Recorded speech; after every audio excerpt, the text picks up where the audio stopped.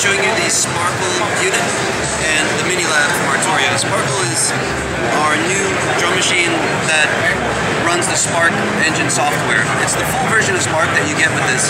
It's just a much smaller, more mobile controller.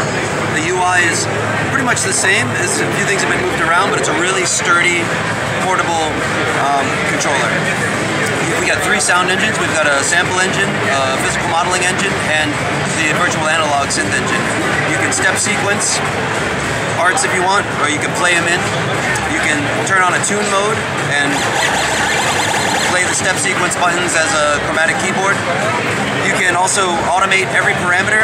You've got this XY pad here for doing repeater effects and slicer effects. You've got filters, multiple filters.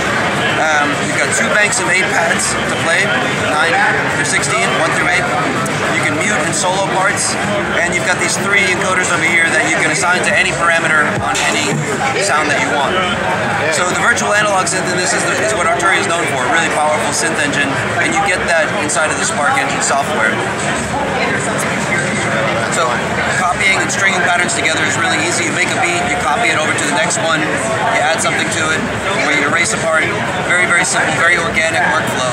It's very much like a uh, you know, it's, it's, very powerful beat making. So, so, all the software is basically the same as the Spark, is it, or is it identical? Identical. So basically, just a slightly smaller controller. Yeah, which... there's a UI configuration in the preferences that allows you to either view this or view the other Spark. So it defaults to whatever controller you're connected. Yeah, and we think it's going to sell in the UK for about two four nine, as I've been told. Correct. So that's, that's great there. And now we're going to move over to this other product here. This is the MiniLab. This is a bus powered controller, two octaves.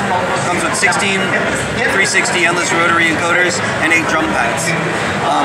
Two banks of drum pads. The first bank actually also acts as a preset selector too with the shift button.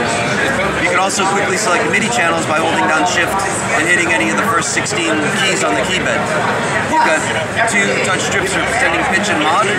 There's a foot jack on the side, and it ships with the Analog Lab software, which is the best of the V collection. Basically, you get hundreds, you get thousands of, of presets, and then there's another mode that allows you to uh, stack any of those presets together, add effects to them, and uh, it's a really, really powerful sound design tool. So really, this, this is going to be about 89 pounds in the UK. Exactly. Uh, well, really, so you're getting 89 pounds worth of software, really, aren't you? And a free keyboard, almost. Exactly. the other way around.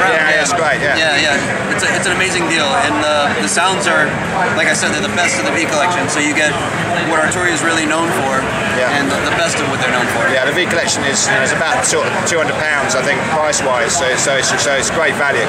Exactly. Yeah. Fantastic. That's great, Mike. Thanks for your time. Thanks a lot.